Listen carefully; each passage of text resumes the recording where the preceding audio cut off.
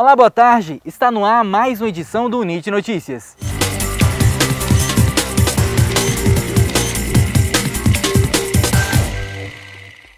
No último episódio da série Arte da Sergipanidade, nós vamos conhecer o trabalho de um multiartista que já representou Sergipe pelo mundo afora. Nós estamos falando de Nino Carvan.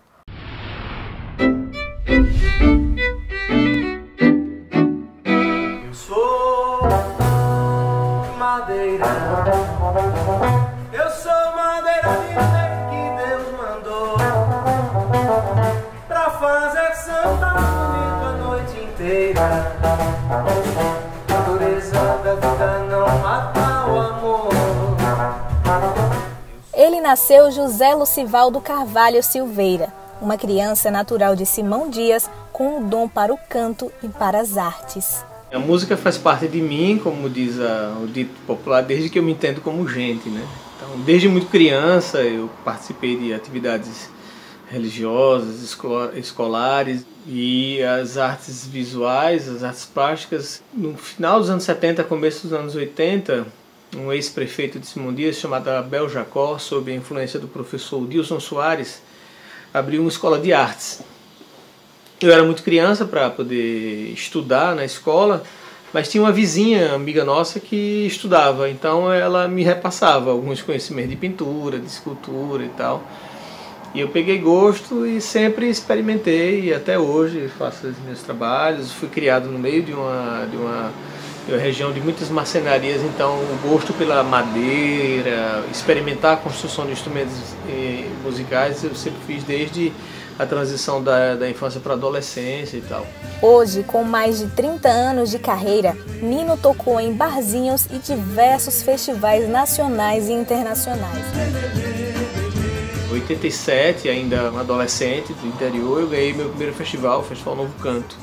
E de lá pra cá foram vários festivais, participei de festivais aqui em Sergipe, fora daqui, São Paulo, na região de, de Minas.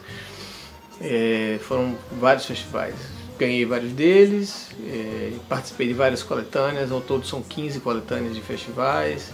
Mais uma coletânea chamada Laurel de Melanie, que é uma coletânea lançada pelo selo Cyprès lá em, na Europa.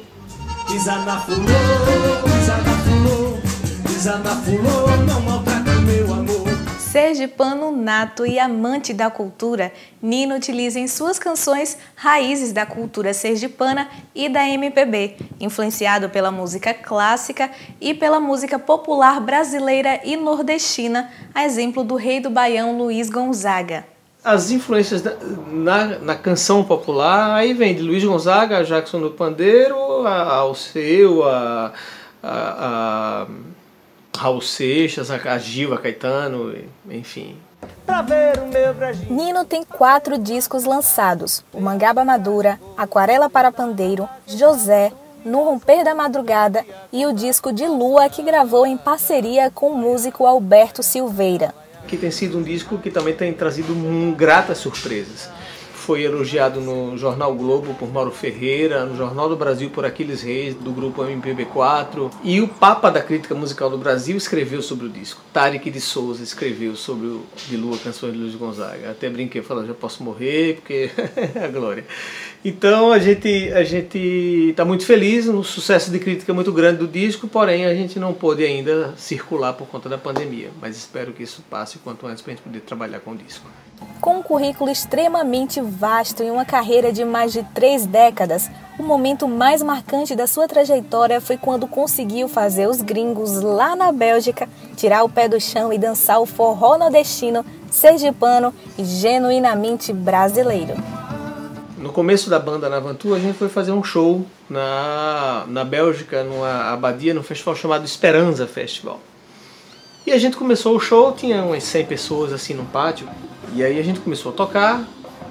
Até a metade do show, a praça já estava lotada, a gente terminou com uma multidão de mais de 5 mil pessoas de, de gringo tentando dançar forró e as coisas, as misturas que a gente faz lá na Avantura.